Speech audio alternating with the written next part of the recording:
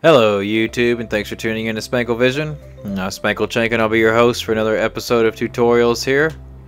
And today I got a request for an ambulance so we're gonna knock go ahead and knock that out for you guys. Uh, it's a really simple build. You want to get some half slabs, stone half slabs, some iron, get glass blocks, white wool, blue wool, black wool, Need some buttons. Um, gonna need some doors too. Go ahead and pick up some iron doors. And that should get the base of the structure. It's really simple here. And you could you, you could substitute the blue with really whatever you want to make. Uh, oops, well, that's not right. Already started off wrong. Put the iron blocks there. We are in the plastic texture pack, in case you're curious of what's going on. We are on plastic. Um, put some white wool there. Like I said, this is pretty easy, and this is something, you know, if you're going to have it in your world, I would suggest putting it at the hospital or maybe at the scene of the accident because it's a little wider than the usual cars for the road in my world. But, you know, if you park it in the hospital parking lot, it looks fine. It's, or in the ER entry or something like that. And go one more around. Oh no, wait. I'm gonna go white with that. Go out one more on the white there and go five back. Fill that all in with white wool. Uh, you can leave that vacant. In fact, here we can put a. You can just put whatever chair you want to put in there. That'll be the driver's seat. And this is what I was talking about. You could do your own color if you wanted to do orange here for your maybe your neighborhood's got orange EMS. I've seen green, I've seen blue, I've seen red. It really doesn't matter what color you use. Um, and then we would throw some iron up because there's always like some reflective surface all over the ambulance too, and the iron kind of looks like that. So we'll throw some iron up, and then you want to just get it started there, but get rid of that one. And just take it all the way back.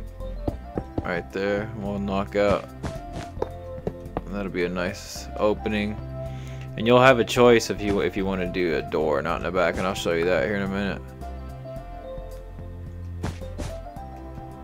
Alright, we got those doors on, and then we get some more half slab action here. Let's get the button placement on. Put some in the back for tail lights. Oops, didn't mean to get that one. Alright, and you see it's starting to come together now. It kind of looks like a... You know, I just put the doors on there. You know, you don't have to make them where they open, but they could open because look, you know, you could... Oh, you just hit the tire, but, you know, there's no real reason to go in there. It's just for looks. And here's where we need some other items. Okay, pick up some signs go ahead and throw those on the back here. I like to put those on for like a back bumper.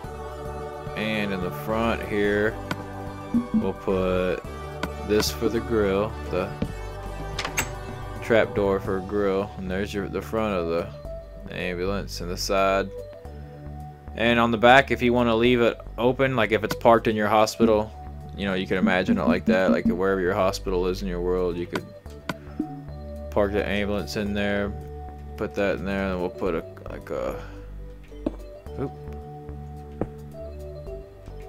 couple chairs.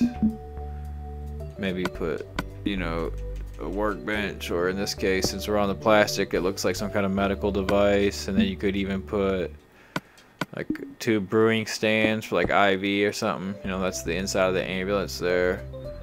And uh, you know, if you want to put door, you could I mean, I would leave it open because it looks cool. Have it, you can see inside. But if you wanted to put a door, just you know, just seal it off here. I guess you could use iron there. Oops.